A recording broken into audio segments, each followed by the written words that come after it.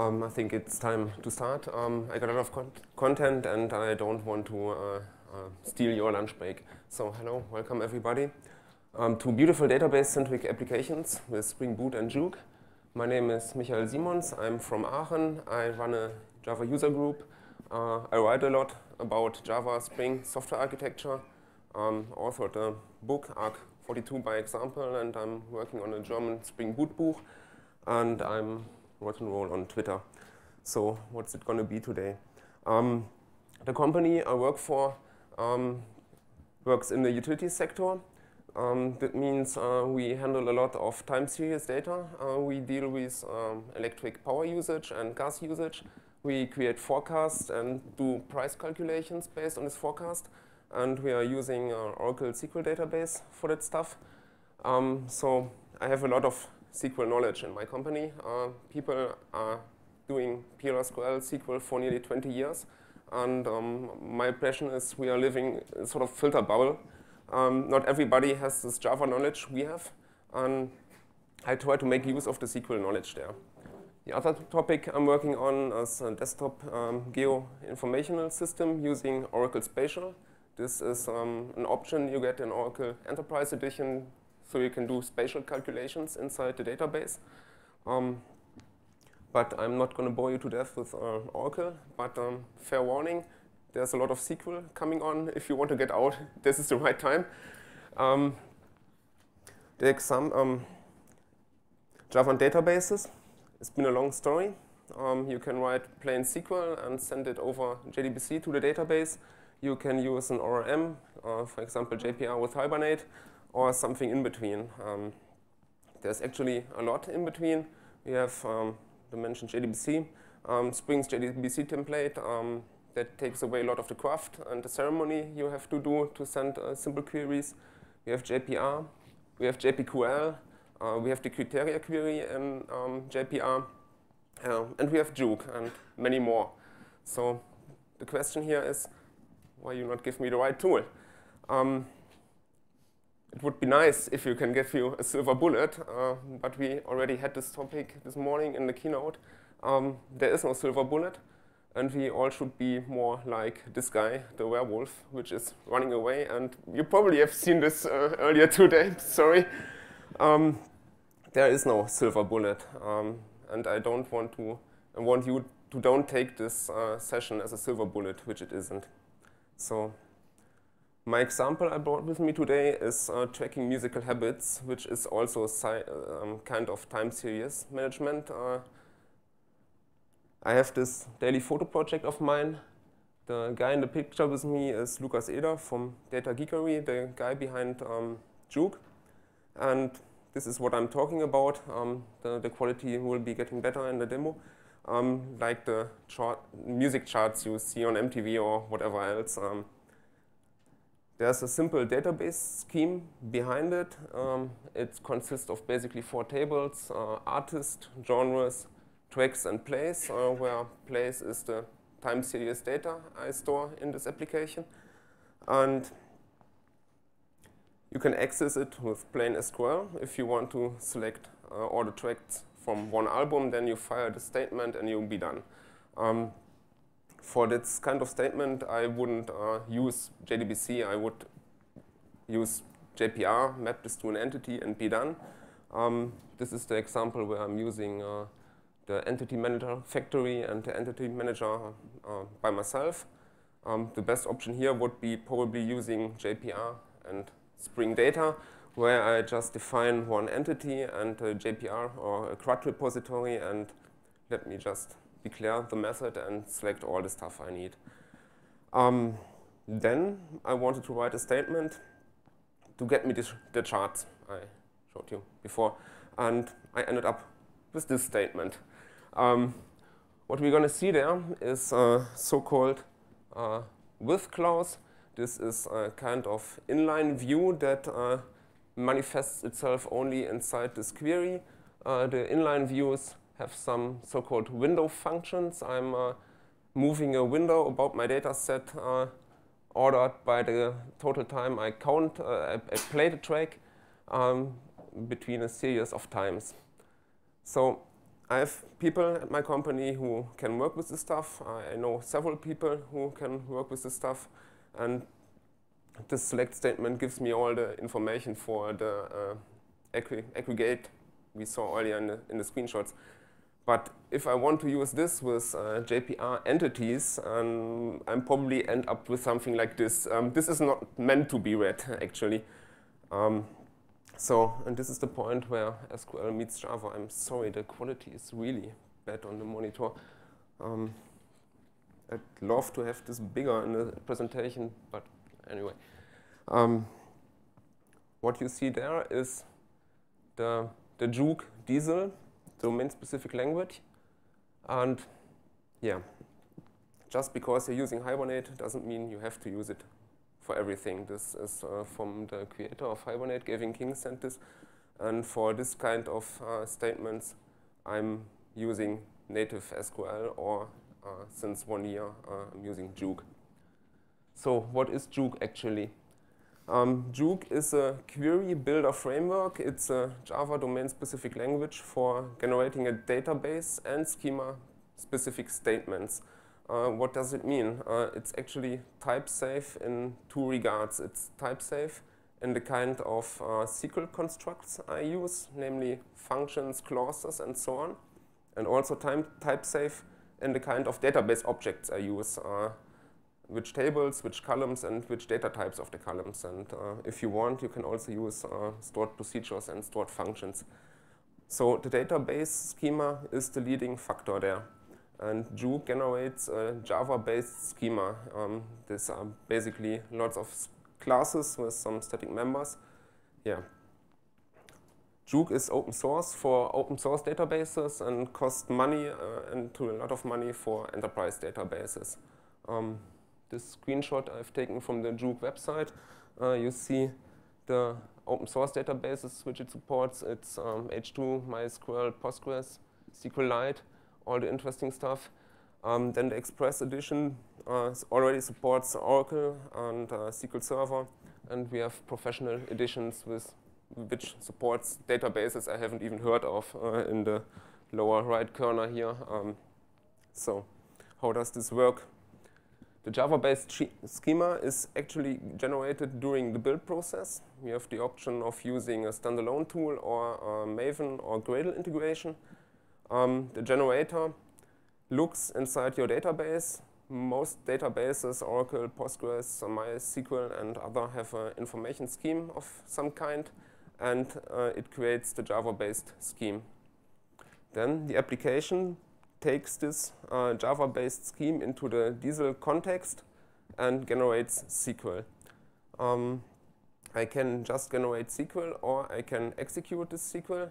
If I do it, uh, if I execute it, um, jOOQ is heavily record orientated. This is, um, I don't have an entity mapping at this point in time. I can choose to map my records into um, data access objects. Um, I can choose whatever type I want. Uh, there are plenty of options.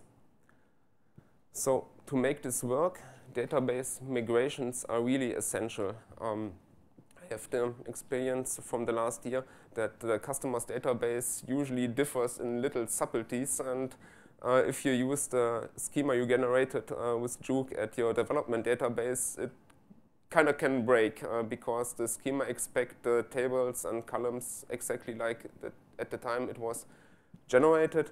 So this might introduce some change into your organization, especially if you have to deal with DBAs uh, who want to keep their hands on a database and uh, this stuff happens.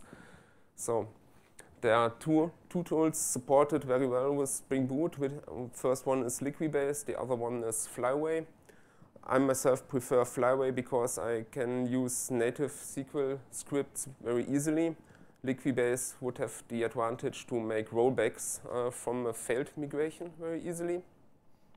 So, and now to the question, the workflow of this. Um, I build against the development database. I start a migration there and start a jOOQ generator to have my schema. And then the application runs against the production database and starts the migration again against the production database. This is the kind where you you can get in trouble with your database administrator. But if you follow this workflow, the generated Java scheme is or should be always in sync with the production database. Um, I had a question at several times during this talk um, about who has the right to control the mm-hmm. database, which application has it.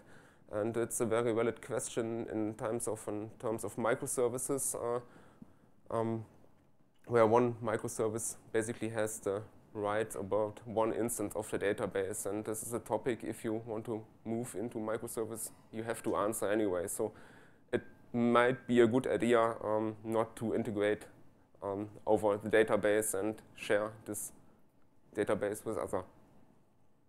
Um, so how does this work with Spring Boot? Um, like so many other projects, you hit start.spring.io and enter jOOQ and uh, Flyway in the dependencies. Um, you get um, two dependencies, the Spring Boot starter jOOQ and uh, the Flyway dependency or Liquibase if you choose to. If you want to use the uh, Pro version of uh, jOOQ to support Oracle database, you have to change uh, the dependencies and exclude the community edition of jOOQ and add the Pro edition, but that's not hard to do. Um, the build process, though, is a little bit harder. Um, as you might know, Spring Boot um, supports Flyway and Liquibase out of the box. That is, you put them on the class path without any starter, and they get the database uh, connection or the database source and run their migrations from well-known locations. If I want to have this in the build process, I usually recommend uh, to store uh, the database URLs and uh, passwords for the development database inside your build file and then refer to them in the, Maven, uh, in, in, the properties, in the default properties of your uh, Spring application. This is just one way to do it, works very well for my company. Um, I then can run the Flyway migrations during build as well um, from the same location where Spring Boot does look. So this runs before the jOOQ generator runs. And then I run the jOOQ CodeGen Maven plugin. Um, okay, should have said that too. I'm a Maven user, uh, but it works equally well with Gradle. Um, this plugin runs after the first initial uh, Flyway migration. Um, again, I'm referring to the um, properties I defined earlier. So I have uh, the same connection during build time and development time, and uh, it works very well in uh, Jenkins and other continuous integration tools as well. So enough of me uh, showing the slides with the two small fonts. I've prepared a little demo. Um, I've migrated the talk from an Oracle database to a Postgres database just two weeks ago because I always had the questions how portable this is and um, it is really well portable. jOOQ translates um, commonly used uh, functions pretty good and also um, um, translates between uh, different versions of uh, SQL standards. So at first I'm going to show you the final result of the thing we're going to build. I've just triggered the build process right now. Um, you're looking at, um, this is readable, hopefully. Um, we started with an empty schema and we applied nine migrations. And then the jOOQ code generator ran, um, prints out some uh, statistics, and fetches four sequences and several tables and generates my classes. So the end result looks like this, an empty chart right now. Um, this is the point where I'm going to show you the um, integration of Flyway into um, Spring Boot. It actually is that well integrated that there's an uh, actuator endpoint which I'm uh, reading out here. Um, we are using uh, actual, uh, at the moment ver version 9 of the schema and I'm just going to drop in two more migrations here. And see the development tools of Spring Boot restarting the application. And somewhere down the logging should be uh, applied migration. And if I reload this thing, I have a beautiful chart of the music I've listened to. And uh, that is basically the result of the monster SQL statement I showed you earlier. I have um, absolute count of the tracks I played. Um, I have uh, the, the change between this month and the previous month here, which is uh, the little downside arrow. And yeah, the query looks like this. Juke has a pretty use, useful logging uh, system. It prints out the queries in two formats, which is one with uh, out bind parameters, where I have the question marks, and uh, the other format is um, with bind parameters readily quoted to be pasted inside um, your SQL tool or whatever else you use. Um, so that's for the working demo, and now I'm trying to um, recreate this uh, live, showing you the, the POM. Um, you have the dependency to flyway for runtime and the jOOQ dependency at line 50. Um, there's pretty much uh, no configuration you have to do with uh, Spring Boot and jOOQ. You just drop in the starter and jOOQ gets provided with the data source, the same data source uh, all the other um, database related topic inside your Spring Boot application uses. And also it takes part of Spring transactions if you want. Um, if you want to override some setting, it works basically out of the box.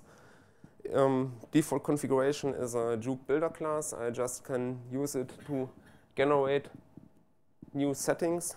Oh, this is stupid um, I can generate new settings and be good. The settings will be picked up automatically. What I'm configuring here is that I want to have my um, keywords in uh, upper style case. It's just the way the database people roll and I want to have a nice uh, uh, formatted output uh, if I have this property set to true. Um, don't know if this has any um, performance impact. I, I don't think so. And that's basically all you have to do to get you up and running with uh, this jOOQ stuff. So how this does work? Um, let's speak about artists. Um, this is a normal uh, Spring ad controller. Uh, it's uh, no REST controller on purpose because I'm not going uh, to build a REST API here. I'm just building a plain JSON API and I'm directly writing jOOQ records to an um, HTTP response. Um, the instance variable create is the jOOQ context, which can be used to um, access the Java-based schema, and it works pretty much like um, the SQL um, you know. The class names in, in uh, uppercase um, represent the Java-based schema that jOOQ has generated for me. Um, and I can order it, order by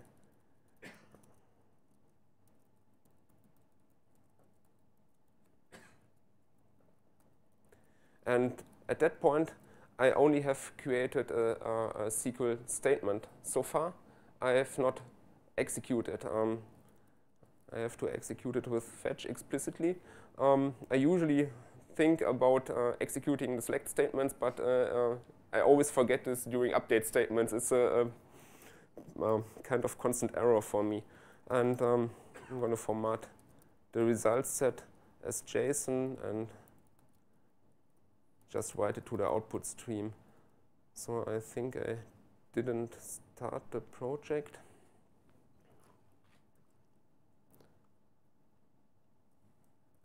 I'm running a second instance. Nice uh, fact here is uh, that the, oh, this is too bad. Okay, just to rebuild it. The, the second instance I'm going to try to start uh, doesn't know of the two migrations I drop into it, into the other instance earlier. So I can cope with migrations that are uh, already applied to the database, uh, but not inside this version of the app. So um, if there is an error, I have to roll back a new release of my app. I have, I don't always have to roll back the schema. Um, the, the Flyway migration tool um, supports this. This is too, too bad now.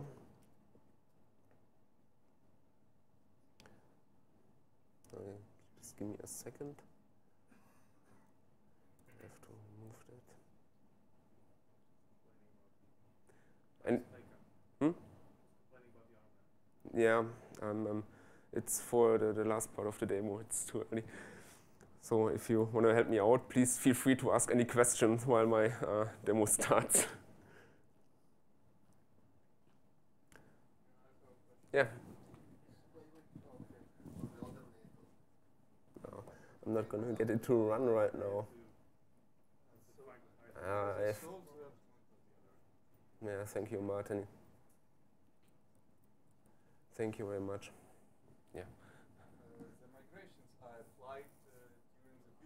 Yes, and also during uh, runtime. Ah, okay. So, so, so, the production database is migrated. Yes, exactly. That was the workflow I was presenting, and I think it's kind of important. It's easy to uh, to apply the migrations during development in your um, development database, but to my experience, this is is going to be error prone if your production database is migrated with other stuff outside your control. I, have been there, I've broken the application, and it, uh, the customer didn't like it very much. But uh, that, that's, it's just a way if somebody else has the right to say what's be done in a database and what's not. That's kind of stuff I have to cope with. So in the meantime, I've managed to start this, and um, I'm using um, this tool to get um, the, the all the artists I've, I've listened to. And you see, if I just use uh, jOOQ to um, map the query, I have uh, really record-oriented stuff here. This is JSON, but not uh, um, objects. It's, it's more of an array of records. And it can be used in the applications to make uh, a fine uh, drop-down of, of, of artist or whatever. So What's going to uh, show now is uh, um, the cumulative plays per artist and day during uh, some period of, of time. Um, this is on, on, on, one day I've, uh, I didn't listen to Falco at all and then three tracks and, and then got into it and then uh, spent an evening listening to Falco or whatever. Um, a query like this can easily be exposed as an, on an URL um, again, the query isn't too hard to understand, I think. I have uh, the artist I want to select. I want to have uh, the running sum over the number times I played a track by this artist. And um, the order of this window is uh, the date I played this on. This is a window function that moves across the result set. I can reprogram this with Java or Kotlin or whatever else I like, but um, if you're matching uh, the customer already paid for his Oracle database, uh, he's uh, wondering why he has to pay me twice to uh, rebuild this function uh, in, in Java or in the application. So if I rewrite this with jOOQ, it basically looks the same. Um, excuse me that I'm not typing this into uh, at live.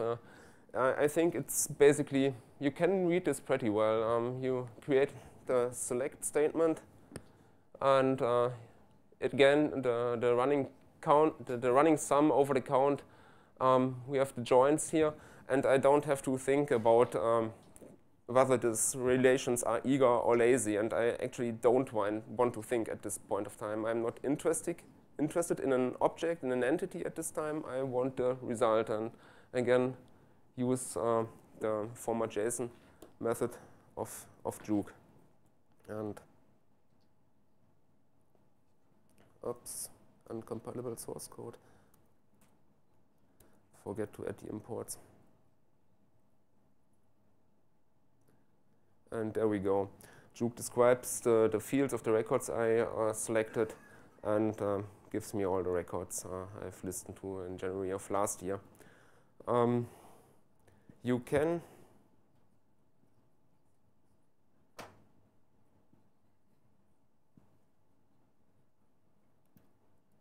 oops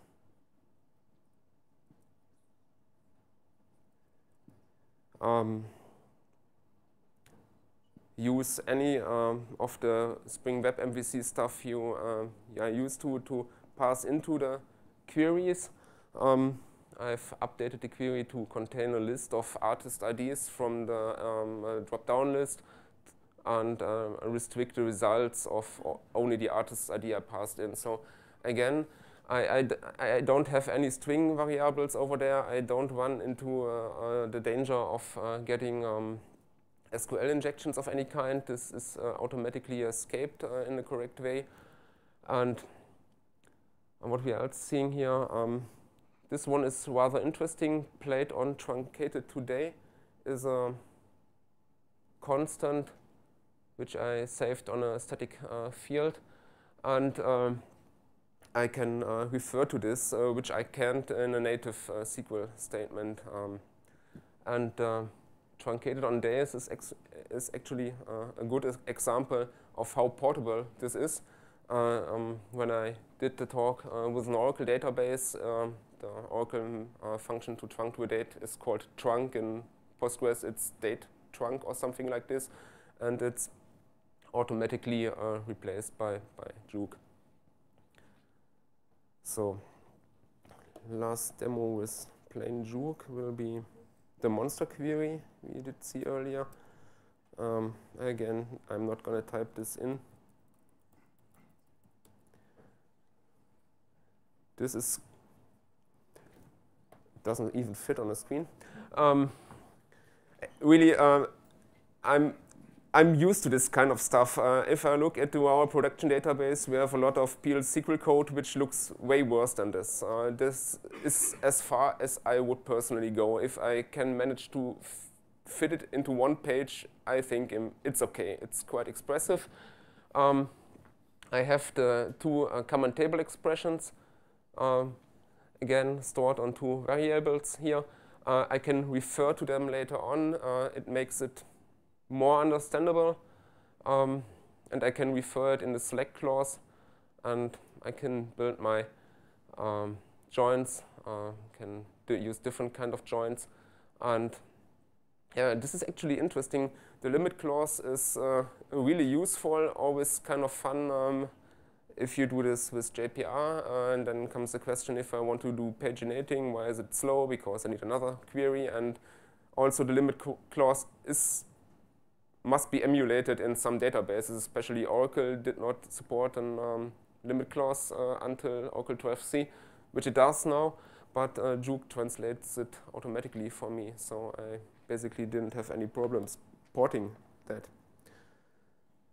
So the last one is um, uh, this not. Mm.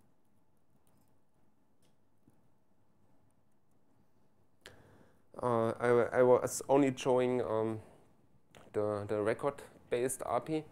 Um, jOOQ has the option to generate uh, plain POJOs for me, um, which is this guy here, the genre.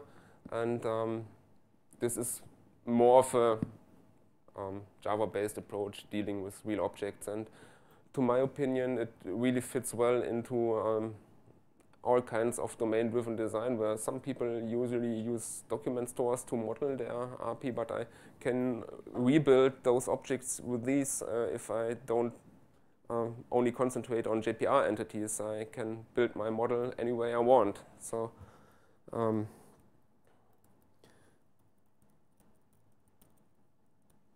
This one is actually uh, a REST controller and it returns uh, the list of genres like uh, one is used to dealing with Spring Web MVC. And um, so if I hit this endpoint, I get um, uh, still an array, but uh, those times are objects I can use. Um, what I meant about uh, um, designing my model the way I need to uh, is, for example, if I want to have a play count uh, with my genre, um, I can use Spring Data projections or JPA projections for this purpose, but I feel like it's kind of clumsy. And um,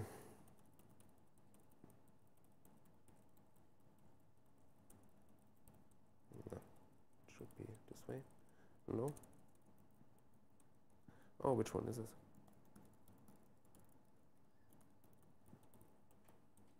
This one. Um, it's basically a simple statement and also a wrong statement, uh, which I uh, just noticed after finishing the demo. Um, I'm, I'm only counting genres at, th at this point. Um, actually have to use it that way.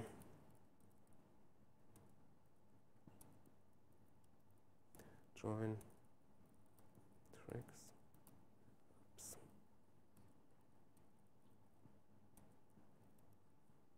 On key and join shows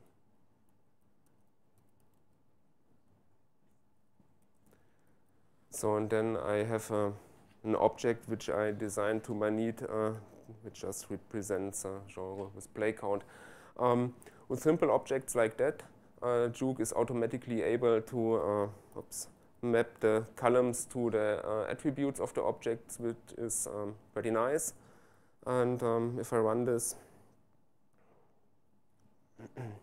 I have now um, the list of genres I listen to. So if you wonder where my nickname on Twitter comes from, this is why I'm like that.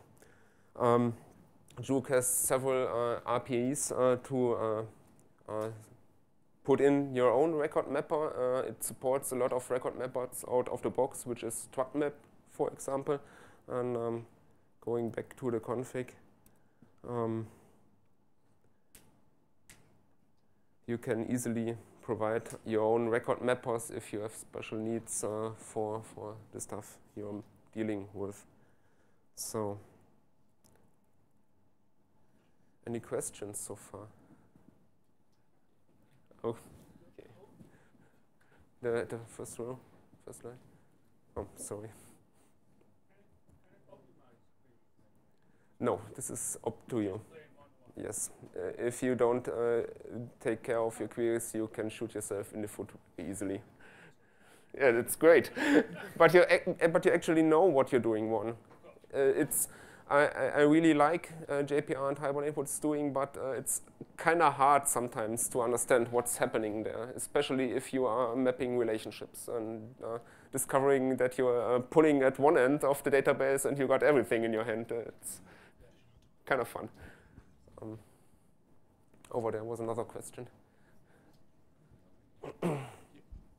So uh, I was wondering, what are the uh, advantages and disadvantages of using jOOQ over plain SQL?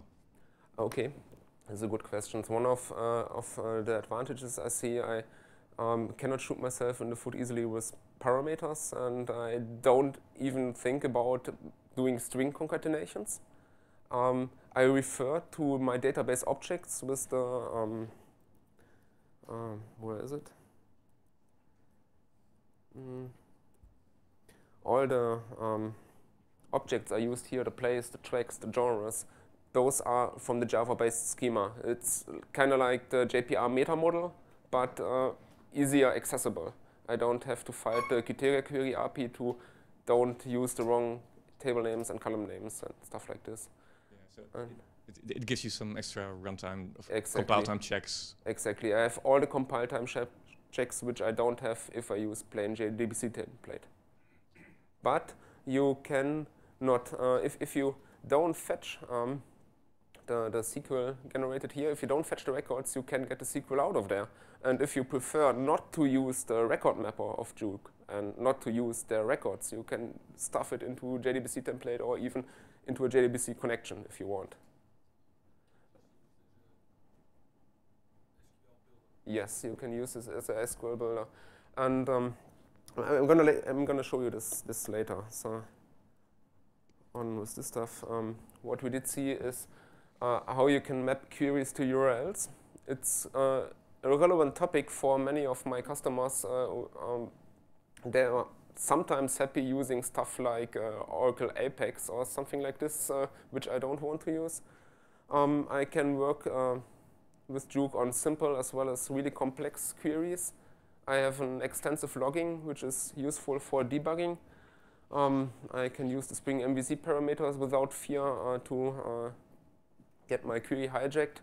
Uh, we have seen reusable query fragments. Um, we can map uh, records to POJOs and any other stuff possible. Um, what I didn't show you is the data access object support jOOQ offers. I'm not a big fan of active records, so I don't use this. Um, yeah, and we can use jOOQ as SQL generator only. Um, is this portable? I think it is. Um, jOOQ uh, tries to be close to the real uh, SQL as possible. Um, I think it orients itself at uh, SQL 92 and 2001 standards. Uh, knows how to emulate various database clauses. Surely there's a limit what you can do and what not. Uh, I myself wouldn't try to emulate window functions. um, it knows vendor-specific functions and uh, what's is missing on the slide, it's really easy to get up with Spring Boot and uh, it integrates really, really well with the transaction manager, with the data sources and everything you can configure with Spring Boot, it is there for you uh, in, in jOOQ. Yeah, when to use this? Um, famous quote from Lucas Sky-Eder, the SQL, it always will be there, it will guide you. Um, take this quote with a grain of salt, um, stated above. Um, I would use this stuff uh, uh, with analytic functions if business comes with weird use cases I didn't uh, think of. Um, if I want to use an upsert statement, this is a merge uh, inside SQL databases, um, and especially uh, for partial selects if, if you have big JPA entities and you select them at, at once, you have a huge memory overhead uh, if you only need one or two columns. And the memory overhead is in your database and in your JDBC connections. And uh, uh, with jOOQ, it's very easy to select only the stuff you need. So, back to silver bullets. Um, I think uh, the combination of JPA, Hibernate, and jOOQ is actually quite good silver bullet. Um, if you follow uh, some recommendations which also apply to database development in general, uh, use automatic migrations wherever possible. Um, look how far you can use JPA Hibernate with Spring Data JPA. Um, if necessary, use JPQL queries. They are kind of compile time checked. Uh, at least they, they fail when you fire up the app application and not when um, the user hits a button but please don't hide any uh, queries inside annotations. Uh, this was the slide which was barely readable, and uh, they're gonna hunt you down. Um, for co complex queries and projections, uh, use jOOQ, and you can pass it to an entity manager uh, to retrieve entities or use the uh, DSL contexts directly. So I think I have time for one more demo. Um, give me the genre that has been played the most. It is a classic SQL interview question, I think, uh, that can be answered in three different versions. I can uh, group my, my, my number of things by and order them and get me all the um, stuff with the same play count in this time, or the, the first one, or a random one. And I, I think the uh, also as a JPA entity, which makes it kind of hard to get this uh, right with a straight JPA query. And I think um, for that use case, this query gives me the right answer. I uh, select the, the genre. Again, use a window function. Here I use the rank method. This gives me uh, um, the absolute rank inside the result set. Uh, yada yada, some joins, and I want uh, uh, all the entities that have the rank number one, uh, which is the, the first, the, the entities with the highest play count in this case, and to my opinion, the correct answer. So, and um, how to do this? Um, now we are gonna using more of Spring. I'm using Spring Data JPA for this kind, and uh, you basically use two interfaces in uh, one class. Um, uh, first of all, you represent a custom interface, uh, which is genre repository extended and I want all genre entities. Note the entity here, this is a JPA entity. with the highest play count. Um, the second interface is uh, the, the, the, plain Spring data repository, uh, which here uh, inherits, uh, extends the CRUD repository, and also my custom definition. And um, for my custom definition, I have to provide an implementation if I don't want to uh, fail um, Spring Data.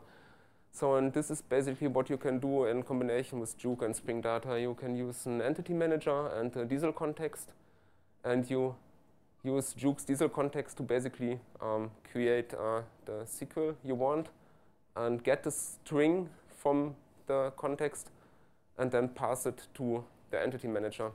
This way you can avoid uh, nesting all those um, native queries and annotations which are really hard to, to find. So I'm going to show you this as a simple demo. Um, this was the uh, the stuff that broke my build. Um, so um, I have this find order by name. Um, the the build broke uh, when I started the application the first time because um, okay I should also show you the entity here. Nothing uh, special about this JPA entity, uh, but it has no play count attributes and uh, Spring Data cannot generate uh, uh, its, its uh, implementation of, of the finder method. Um, going back to the repository, I have to implement this. Implements genre to make this bigger. Sorry, I forget this always. Um, have to implement this method, and I'm basically gonna um, hmm. no, not working. So I basically generate uh, the statement. Um, I don't have uh, the DSL context right now.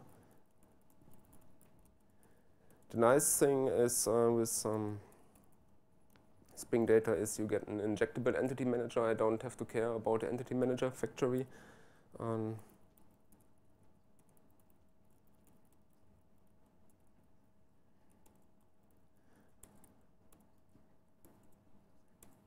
I'm going to inject this here. So now this works. And uh, so I'm basically um, calling this a SQL generator. Um, this is actually the select query which uh, comes out of jOOQ.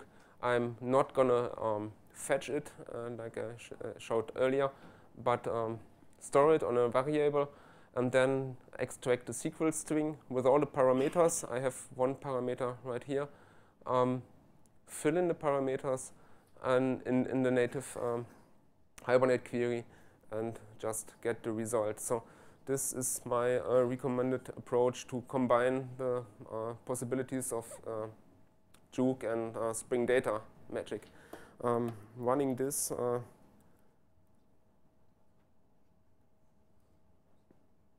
genre with highest play count. Uh, oh, I have to implement this as well.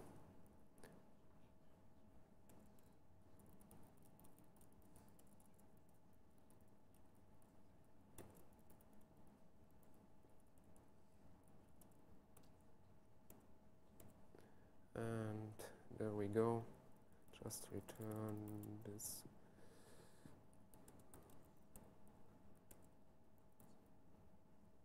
and after a short while it should restart and uh, as I said I listen a lot to heavy metal the last years so Hmm? Is it due to all the sequel? I don't know. It's kind of two, it works two ways. So that was the demo. Um, yeah, I only can recommend uh, know your tools. Um, those are the resources I use the most. I'm uh, most certainly reading the manuals. Um, all the stuff we are using and presenting here are expert tools. You can you have to choose where you want to be an expert. I think it's a lot of stuff to do. Those resources are really useful. Um, if you find the demo interesting, um, check it out. It's on, on GitHub and the slides are already on SpeakerDeck. Um, you can reach out to me on Twitter or on my blog and yeah. Uh, people taking pictures. Uh, just a short sales pitch uh, for the German people. Um, I'm writing on the Spring Boot book. It will be out by the end of the year, I think, in coincidence with Spring Boot 2.0. And uh, thanks a lot for your time and feel free to ask any questions you want.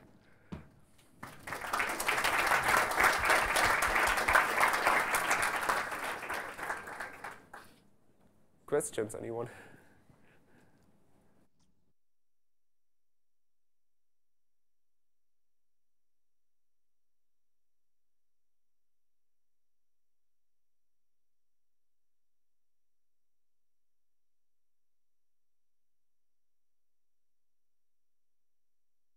time series data. The uh, last performance test we made was around 150,000 inserts per five seconds. Uh, it works really well. You have to take care if you use the combination of uh, jOOQ and Hibernate that you don't uh, that you take care of the Hibernate cache. If if if you uh, use the combination, I would think twice about using jOOQ for writing. Yes, but if you use jOOQ to write to your database and you have mapped those tables to entities, Hibernate won't know it. This is kind of danger at this point. You're welcome. Over there.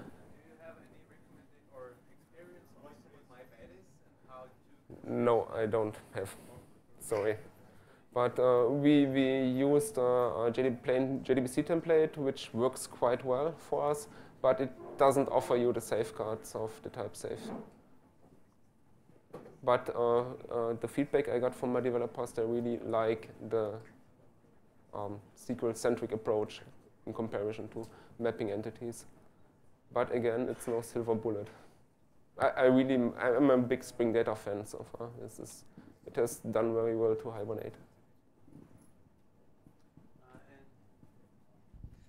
Uh, you talked about uh, doing updates with jOOQ and mm -hmm. then reading them with Hibernate. Uh, but isn't the other way also true? Because with Hibernate, you don't really control when it writes it back to the, or it commits yeah, the stuff back. You have to take uh, care to get your transactions right at this point. But uh, this is, is the easiest solution. So from writing from Hibernate, if you combine both, I would recommend writing from Hibernate.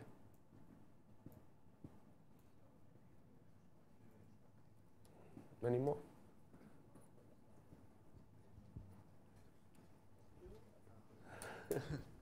so with these uh, vendor-specific statements, yes, does it mean if I change the vendor and regenerate the code, then it's not compilable? Um, it I actually didn't try uh, changing without recompilation, but uh, you can configure the dialect jOOQ uses with the usual Spring Boot configuration, and I expect jOOQ actually to adapt to it. You don't, there are some types that don't equally map. What I did have was uh, in Oracle it uh, generated big integers, and PostgreSQL it um, generated integers, but you can force it to generate a specific type so that your code won't break.